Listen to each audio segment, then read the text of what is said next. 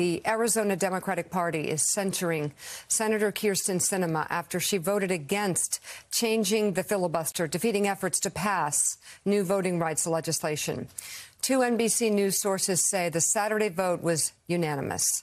The party vice chair says it's, quote, unlikely, if not entirely impossible, that the party would support Sinema in a future reelection bid. In a statement, the party executive board wrote, in part, as a party, our job is to support our Democratic candidates. However, we are also here to advocate for our constituents and the ramifications of failing to pass federal legislation that protects their right to vote are too large and far reaching. The chair of the Arizona Democratic Party defended the censure, noting Arizona Republicans' ongoing efforts to overturn the state's election results. Senator Sinema voted to protect the Senate rule that is not in our Constitution, the filibuster. And while our party is a true coalition, there is room for disagreement on policy. And this issue, we have been consistent and vocal over the last year. As a, as a member of the Arizona legislature, I know that because of Republicans, our voting rights are at risk and protecting the franchise is more important than an outdated rule. Senator Sinema's office responded to the vote in a statement, quote, Kyrsten has always promised Arizonans she would be an independent voice for the state, not for either political party. She's delivered for Arizonans and has always been honest about where she stands.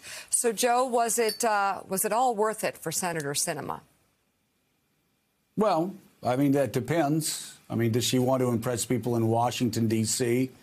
and uh, the Upper West Side of Manhattan, or does she want to impress people in Arizona? Uh, Mike Barnicle, uh, a PPP poll out uh, just uh, a couple of days ago in West Virginia shows the two most popular politicians in West Virginia Donald Trump and Joe Manchin.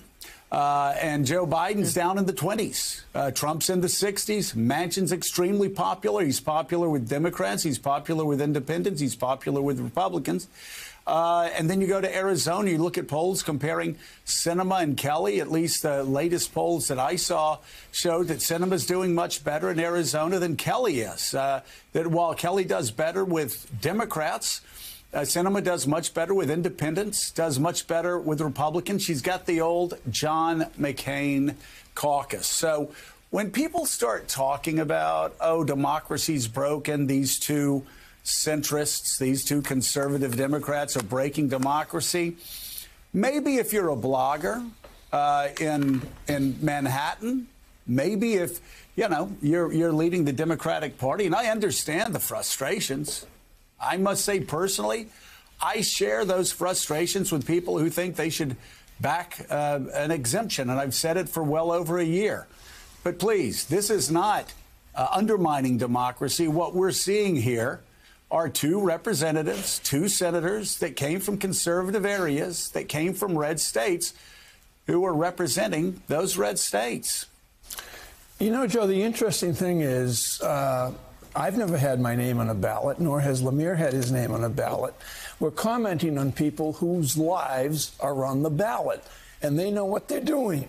I mean, Senator Sinema, she sometimes sounds illogical or sometimes incomprehensible in the positions that she does take, but her name is on the ballot and she clearly wants to be reelected. So she's playing her game, and her game has been pretty skillful thus far, both internally in the Senate, although a lot of people don't like what she's doing. It's been pretty skillful. She keeps her name up in the headlines, and she seems to be appealing to the larger constituency in Scottsdale and Yuma and every place else in Arizona, much more so than Senator Kelly, as you just pointed out. But uh, yeah. it's, a, it's an interesting game to watch.